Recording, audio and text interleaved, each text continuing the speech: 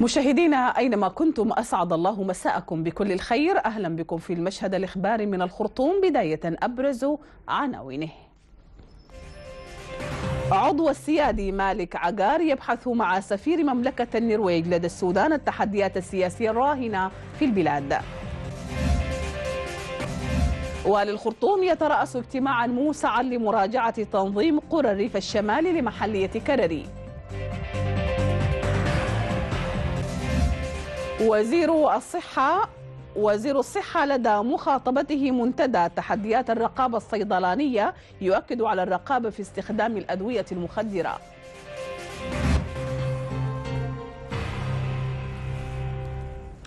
مرحبا من جديد إلى التفاصيل من الخرطوم. التقى عضو مجلس السيادة الانتقالي مالك عقار بمكتبه بالقصر الجمهوري سفير مملكة النرويج لدى السودان أندري ستانس وأوضح السفير النرويجي في تصريح صحفي أن اللقاء تطرق للتحديات الراهنة التي تواجه السودان والمطلوبات الأساسية التي يجب أن تتفق عليها كافة الأطراف السياسية وأن تضع مصلحة السودان في المقام الأول. وقال السفير ستانس أكدنا خلال اللقاء على ضرورة الوصول إلى التسوية التي تشمل جميع المكونات السياسية مشيرا إلى أهمية مشاركة المجتمع الدولي في العملية السياسية الجارية. وأضاف دورنا في هذا الشأن يتمثل في المساعدة في الوصول إلى الحل الذي يجب أن يكون لصالح الشعب السوداني وفي أقرب وقت ممكن.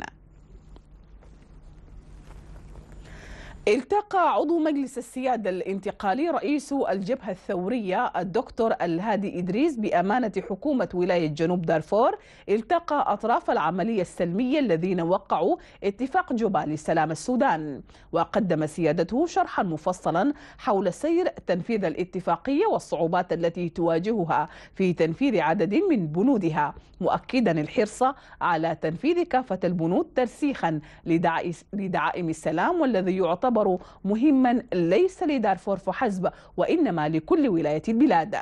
وأشار عضو مجلس السيادة إلى تنفيذ جزء كبير من بند الترتيبات الأمنية مبينا أن البنود الأخرى تحتاج إلى إكمال إنشاء الآليات التي تساهم كثيرا في تنفيذها. ودعا دكتور الهادي إدريس أطراف العملية السلمية لتوحيد كلمتهم والتمسك بخيار السلام الذي يمهد الطريق لبناء سودان آمن ومستقر خلال المرحلة.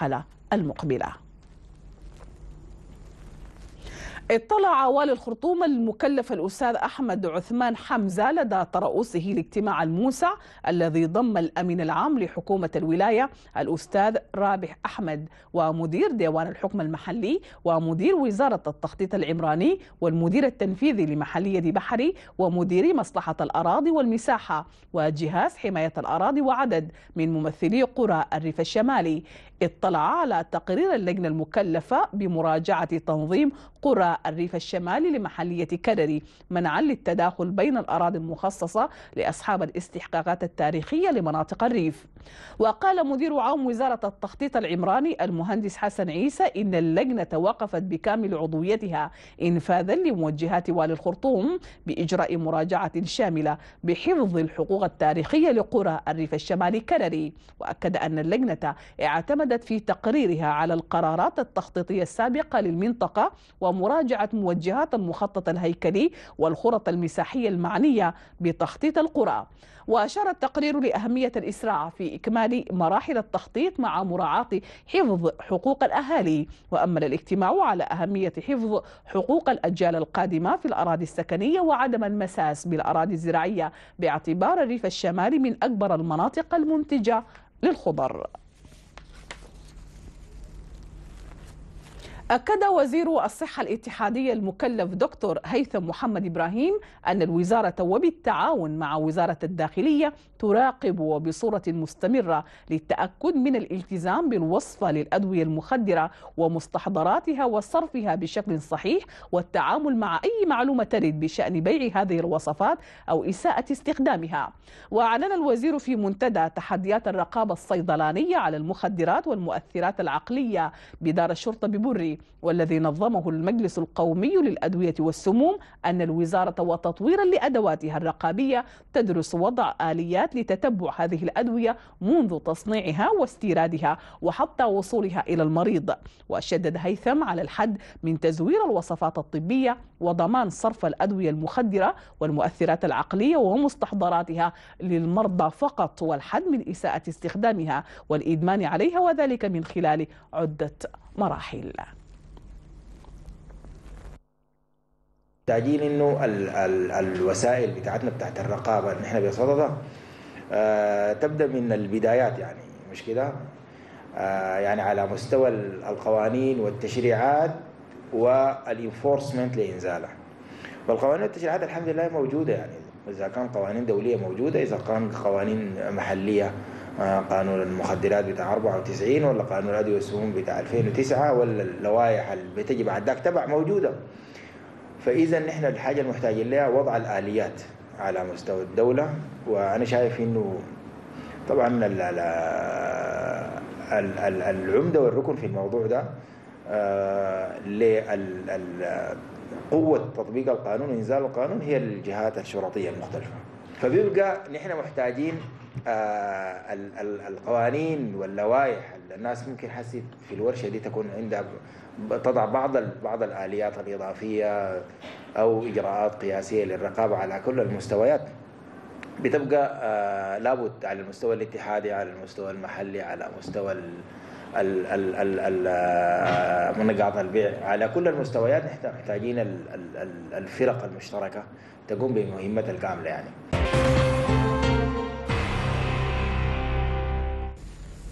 إلى ذلك أوضح الأمين العام لمجلس الأدوية والسموم دكتور علي بابكر دور المجلس في الرقابة على الأدوية المخدرة وأثرها وتفعيل كل القوانين والتشريعات من أجل حماية المجتمع. ترتيبات أخرى في أنه في بعض الأدوية اللي كانت بتصرف آه، في الروشتات العادية حتتحول لروشتات آه، مزيد من التحكم فيها. آه، في بعض الأدوية اللي كانت أصلا بتستخدم كأدوية عادية؟ أصبحت تعتبر سلايف تمهيدية لإنتاج بعض المخدرات. اليوم حنتناول تفاصيل كثيرة من من الأدوية. للحرص وتعزيز صحة المواطن لأنه في المقام الأول صحة المواطن هي هي الأهم. طبعا مدمن المخدرات أو هو أكثر إرهاقا للأسرة من من أي مدمن آخر يعني ومن أي مريض آخر وهو مرهق جدا في على مستوى الأسرة. وبالتالي نحن إن شاء الله اليوم بنحاول بالتعاون مع مع المؤسسات الراعية لل لمعالجة الإدمان وكل الفئات والجهات المختصة. سنعالج قضية آه، هذه الأدوية. وكيفية التحكم فيها وكيفية صرفها بمساعدة آه، الصيادلة الموجودين على مستوى صيدليات المجتمع أو صيدليات المستشفيات في مزيد من الرغابة عليها.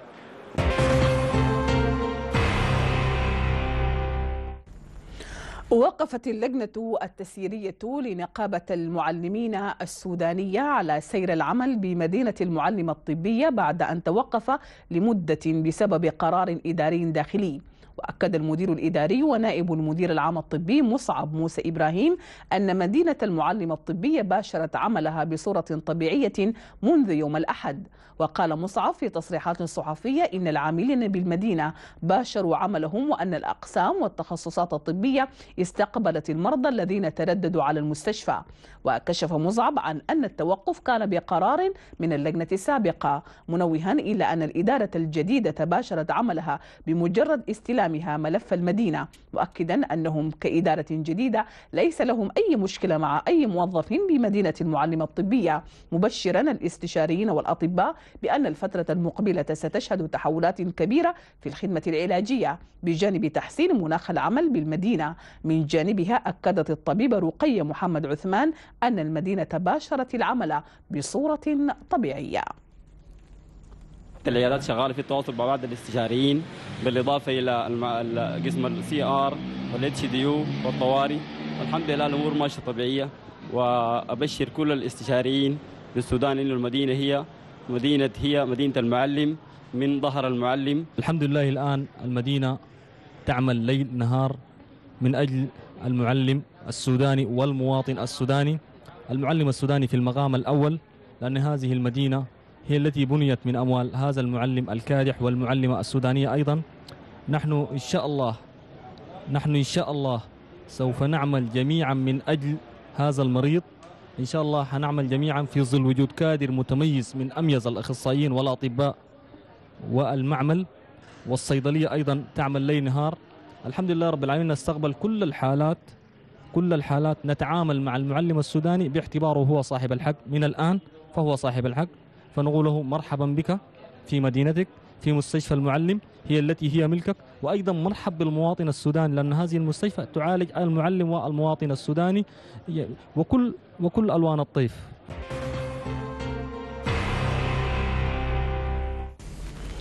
أعلنت مجموعة من القيادات المجتمعية والأهلية والكيانات المطلبية المنضوية تحت مبادرة نداء أهل السودان للوفاق الوطني أعلنت رفضها القاطع لأي تسوية سياسية ثنائية فضلا عن رفضها للتدخلات الأجنبية في الشأن السوداني. جاء ذلك خلال المؤتمر الصحفي الذي استضافه منبر طيب بريس والذي جاء بعنوان رفض التسوية الثنائية والتدخلات الدولية في الشأن السياسي السوداني. بمشاركة عدد من ممثلي وسائل الإعلام المختلفة.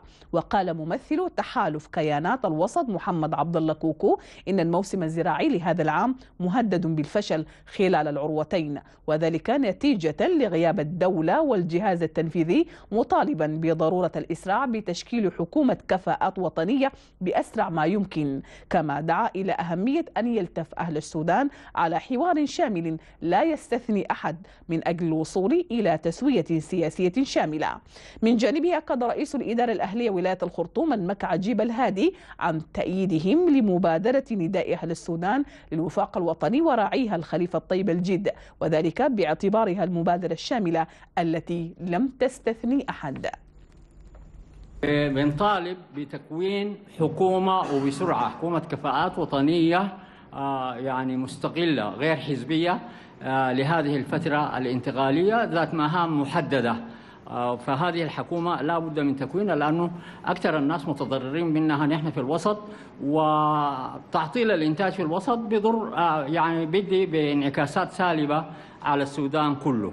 المسارات المسارات نحن لا بد انها تعالج. الاتفاقية فعلا هي وقفت البندقية وده كلام ممتاز جدا. لكن كمان حصل ظلم كبير جدا في الوسط والشرق والغرب الوسط والشرق والشمال. بالتالي لا بد من التعديل الخلل الموجود في هذه المسارات.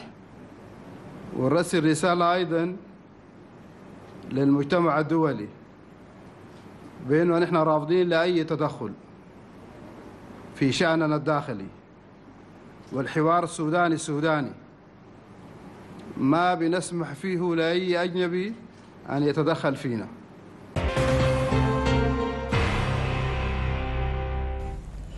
قال رئيس الوزراء الأسبق البروفيسور الجزولي دفع الله إن البلاد تمر بمرحلة مفصلية وعزى ذلك إلى عدم الوصول للتجانس. وأكد الجزولي لدى مخاطبته لمنتدى الفكر والتنمية والسلام الذي نظمته جامعة المغتربين اليوم ضمن سلسلة ندوات عن كيفية النهوض بالسودان واللحاق بركب الدول المتقدمة والذي جاء بعنوان نحو رؤية جديدة لحكم السودان. أكد استحالة تغيير السودان. وأوضح أن الوصول إلى الديمقراطية ليس بالأمر السهل وقال الديمقراطية ينبغي أن تشتري الوقت لنفسها مؤكدا بأن الحوار هو الحل الأمثل لحلحلة مشاكل البلاد. وفي السياق قال الباحث السياسي والخبير الاستراتيجي مضوي الترابي لابد أن نعمل ما في وسعنا لكي نصل إلى كيف يحكم السودان. وقال إنه لابد من التفكير الاستراتيجي للدولة للوصول لحل أزمات الحكم حتى ينعم السودان بالاستقرار والأمان. هذا يتطلب منا كأحزاب سياسية وكمنظمات مجتمع مدني أن تكون لنا رؤية واستراتيجية واضحة وهذا ما هدفت إليه ندوة اليوم والتي تحدث فيها عدد من الإخوة المشاركين ونأمل في أن تواصل جامعة المغتربين في هذا المشروع. الذي آه، يجعل من الجامعة آه، يجعل للجامعة ارتباط بالمجتمع. ونحن نتحاور ينبغي أن نستعمل اللغة المهذبة بعيدا عن ذاك بعيدا عن آه، إثارة إحساس الكراهية والعدوانية نحو الآخرين والالتزام بالحقيقة. والابتعاد عن اختلاق المشاكل والأزمات. تأتيكم المزيد من الأخبار من الخرطوم. عقب هذا الفاصل فابقوا معنا. انعقد بمحلية أم درمان اجتماع برئاسة المدير التنفيذي لمحلية أم درمان الأستاذ فيصل حسن حسين طنبل والذي ضم مدير ديوان الزكاة بالمحلية حسن إدريس بجانب مديرة التنمية الاجتماعية بالمحلية سمية إدريس ومدير المصارف بديوان الزكاة ومدير الشؤون الدينية بالمحلية والمنسق العام للجان التغيير والخدمات بالمحلية ومنسق لجان الزكاة. وتناول الاجتماع سبل تطوير عمل الزكاة وإحكام التنسيق بين ديوان الزكاة وإدارات المحلية المختصة وكيفية إسهام ديوان الزكاة في دعم الفقراء والمساكين على مستوى المحلية. من جهته وجه المدير التنفيذي للمحلية أهمية مراجعة تكوين لجان الزكاة الزكاة القاعدية غير الفعالة داعيا لمزيد من دعم جهود ديوان الزكاة على مستوى المحلية من أجل دعم الشرائح المستهدفة. من جانبه استعرض مدير ديوان الزكاة بالمحلية أنشطة الديوان الخاصة بالدعم الشهري النقدي فضلا عن مصارف الزكاة التي يقوم بها ديوان الزكاة بجانب المشاكل والمعوقات التي تواجه عمل الديوان. أحيت إدارتا تعزيز الصحة وصحة البيئة بمحلية أم درمان بمدرسة أم درمان الثانوية الحكومية للبنات اليوم العالمي لغسل الأيدي. وأوضح مدير الشؤون الإدارية والخدمة المدنية بالمحلية أهمية غسل اليدين للوقاية من الأمراض مشيدا بجهود إدارة الصحة بالمحلية في مجال تعزيز الصحة ونشر الوعي الصحي وسط المجتمع بجانب مهامها الأخرى. من جهته أكد منسق النظام الصحي لمحليات الولاية أن الهدف من إحياء هذه المناسبة هو التذكير بالممارسة الصحيحة لغسل الأيدي ونشر التوعية والتثقيف الصحي وسط الطالبات لنقله لأسرهم مشيرا لأهمية التوعية بفوائد غسل الأيدي. تم اختيار المدرسة لتكون هي نافذة الدعاية لإيصال الرسالة لغسل الأيدي وأن تصل عبرهم إلى منازلهم وإلى صديقاتهم وأصدقائهم الآخرين. ونحث دائما على غسيل الأيدي والنظافة ودائما ندعو أن الجسم السليم في العقل السليم والناس دائما تكون حريصة على موضوع نظافة وغسيل الأيدي. الدراسات أثبتت أنه بغسل الأيدي بالماء والصابون بالطريقة الصحيحة في الأوقات الحرجة المطلوب أنه الناس تغسل أيديها فيها. بتغي من كثير من الأمراض وخاصة أمراض الجهاز التنفسي وأمراض الجهاز الهضمي كالإسهالات والنزلات المعوية. فإحنا درجنا في محلية أم درمان إن نحتفل باليوم ده عادة في إدارة تعزيز الصحة بالمدارس سواء كان مدارس ثانوية أو مدارس للأساس. بنحتفل باليوم ده ابتداء من 15 أكتوبر من كل عام وبيستمر الاحتفال حتى نهاية شهر أكتوبر.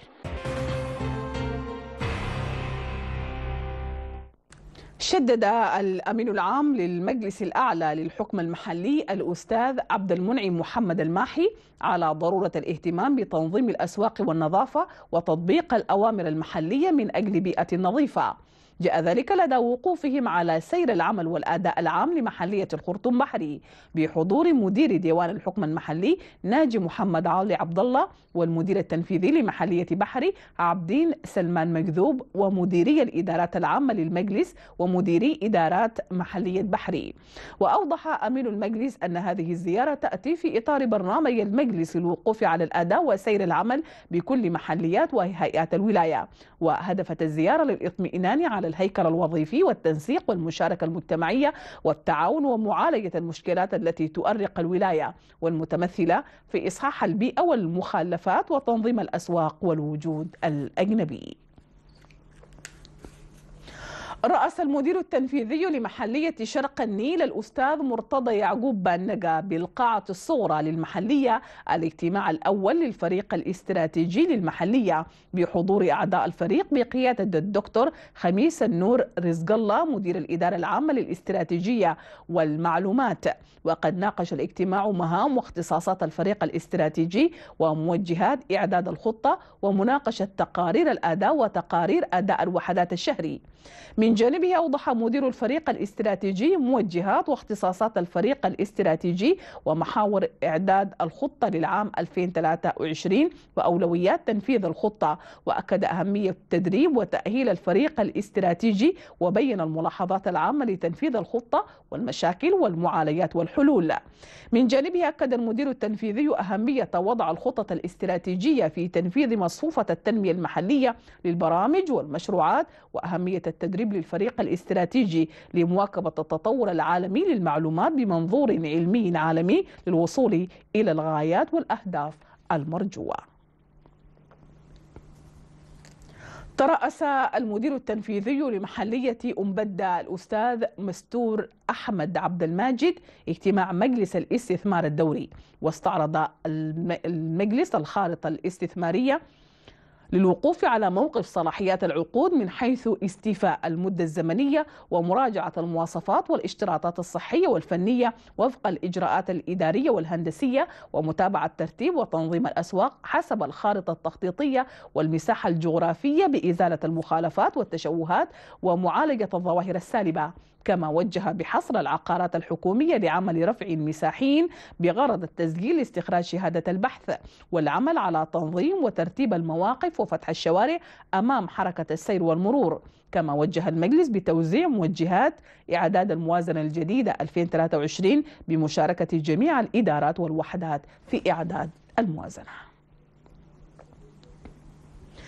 شدد نائب المدير التنفيذي لمحلية أمبدة الأستاذ أبو القاسم آدم الطاهر خلال ترأسه اللقاء الجامع بحضور بشار خاطر آدم مدير الشؤون المالية وموسى أبكر عبد الرسول مدير جهاز تطوير وتحصيل الموارد فرع أمبدة ومديري الوحدات الإدارية والأجهزة والإدارة ذات الصلة لوضع الترتيبات الإدارية لحصر الأنشطة الاقتصادية. شدد على أهمية حصر المواعين الإيرادية لتوفير قاعدة بيانات حقيقية وواقعية لإعداد مواعين إيرادية تعين على إعداد موازنة العام 2023 وفق الموجهات اللازمة. وأشار إلى أن الموازنة تحتاج إلى تفكير عميق بالنظر واستصحاب المتغيرات المستقبلية المتوقعة.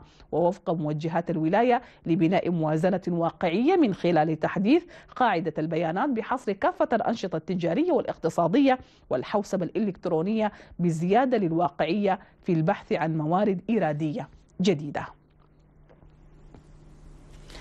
أكدت قيادات من قبيلتي اللوغان ودار علي بمحلية قدير ولاية جنوب كردفان على أهمية السلام والتعايش السلمي ووقف العدائيات بين الطرفين والالتفاف لعملية البناء والتنمية بالمنطقة. وقال مختار عبد الرحيم محمد صالح في مؤتمر صحفي عقد بالحاكم نيوز بالخرطوم لمناقشة نتائج الورشة التي عقدت يومي الأول والثاني من أكتوبر الحالي بين الطرفين لمناقشة المصالحات والتعايش السلمي بين القبيلتين على أن الورشة وضعت اللبنات الأولى والمدخل الحقيقي لترسيخ ثقافة السلام ووقف العدائية في المنطقة. وأضاف أن منظمة جلوبال أنهاند قدمت خدمة كبيرة للمنطقة وجمعت الأطراف في مكان واحد لمناقشة قضايا المنطقة بكل تجرد ونكران للذات. وأكد مختار رغبة الأطراف الجادة في تحقيق الأمن والاستقرار والالتفات لبناء السلام والتعايش السلمي ووقف العدائيات. برفقة لجنة أمن الولاية تفقد أمين عام حكومة ولاية جنوب كردفان إبراهيم حامدين كوكو أحوال مواطني لقاوة النازحين بمحلية دلن جراء الأحداث الأخيرة التي شهدتها المنطقة. وكشف حامدين عن وصول أكثر من خمسة آلاف نازح حتى الآن بمحليات كادوغلي والدلنج والريف الشرقي وأشاد بمبادرات المجتمع في الإيواء والإطعام وتقديم الكساء. من جانبه ناشد الأمير حسن عبد الحميد النور المنظمات الوطنية والدولية والخيرين للإسراع في التدخلات وتقديم العون للنازحين معلنا ترحيب أهل الدلنج بأهلهم من لقاوة ووقوفهم بجانبهم لحين عودتهم إلى مناطقهم. أعلن وزير المالية والاقتصاد والقوى العامة بولاية النيل الأبيض فتح الرحمن أبو بكر اكتمال كافة الترتيبات الفنية والإدارية لاستئناف العمل بمؤسسة بحر أبيض للتمويل الأصغر بالولاية. جاء ذلك خلال ترأسه اجتماع مجلس إدارة مؤسسة بحر للتمويل الأصغر وقال رئيس مجلس الإدارة. إن الاجتماع أجاز خطة عمل المؤسسة المتعلقة بالموجهات والسياسات العامة في تمويل المشروعات الإنتاجية لمواطني الولاية. داعيا إلى التوسع في مشروعات صغار المنتجين وجمعيات الخيرين من أجل تحسين سبل كسب العيش للشرائح المستهدفة بمحليات الولاية. من جانبه استعرض صبري محمد حسن مدير مؤسسة بحر أبيض للتمويل الأصغر جهود إدارته في استئناف العمل بالمؤسسة والخطة التشغيلية في مشروعات التمويل الأصغر. ختاما أبرز العناوين من جديد. عضو السيادي مالك عقار يبحث مع سفير مملكة النرويج لدى السودان التحديات السياسية الراهنة في البلاد. والي الخرطوم يترأس اجتماعا موسعا لمراجعة تنظيم قرى الريف الشمالي لمحلية كرري.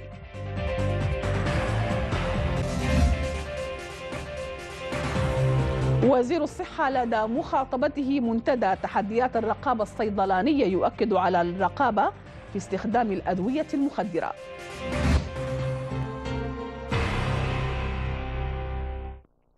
شكرا لطيب المتابعة. هي تحياتي مقرونة بتحيا الفريق الذي عمل لأجلكم. حتى الملتقى دمتم في أمان الله وحفظه.